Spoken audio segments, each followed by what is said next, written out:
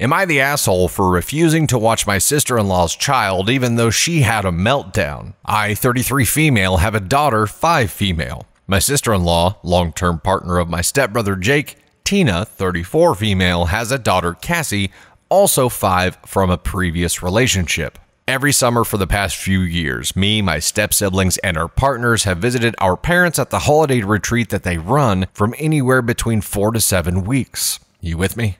This past summer, I was there for six weeks, and Jake and Tina were there for four. My husband was there for three weeks on and off due to work commitments, and I brought the nanny. During the third week, Jake and Tina were there. My husband and I decided to take my daughter on a day trip. As the nanny had the day off and we were going a little stir crazy, we told everyone at breakfast. And afterwards, when it was just the women at the table finishing our tea, Tina asked if we could take Cassie with us on our day out. I was very confused as to why Tina would ask this, as I have barely any interaction with Cassie. I find some of her behavior very off putting, and I don't have a natural inclination towards children. And second, Tina and I don't know each other well enough that I'd ever consider asking her such a favor. I said no. It was just a family day out for the three of us, and presumed that would be the end of it but Tina insisted. She begged me to take Cassie and said she hasn't had a break the whole summer. She's overwhelmed and would like to spend time with Jake. I said no again, and Tina asked if my nanny could watch Cassie for a few hours, but I told her it's the nanny's day off. Tina started to get tearful, saying she really thought that as a fellow mother I would understand needing a break, since I have someone employed for that very purpose. I didn't know what to say to that, so I just said goodbye to my mother and started to leave. And as I did, Tina burst into tears. My mother told me to go and she would calm Tina down. When we came back later that evening, Tina wasn't at dinner, and my parents and Jake were babysitting Cassie. My mother said she had reached a compromise with Tina that they would watch Cassie for the evening so Tina could rest. They can't during the day as they are still actively running the retreat. The next day, Tina reappeared and everything was back to normal, though she was noticeably colder towards me, but it didn't bother me. A few days ago, we were discussing all getting together for Christmas in a group chat, and Tina said she was really looking forward to it, but that she hopes we could all be a bit more accommodating with the kids and that it takes a village. I just replied that I wouldn't be needing any accommodations, thanks, and the conversation moved on.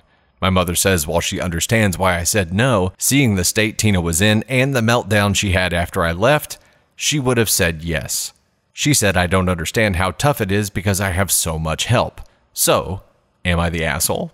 I think there are different levels of assholery that we probably need to cover here. AssCon 1 level is there's no way in hell you should have done that. You're a terrible human being.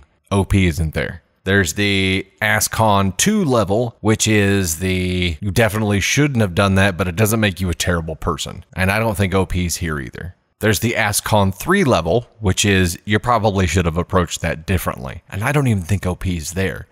Let's look at AssCon 4, which is you probably could have approached that differently, and maybe you're an asshole, maybe you're not. I think that's where OP is. OP is at AssCon 4. That's right, we just developed a new scale of assholery that will now be our standard that we live by moving forward. T shirt incoming.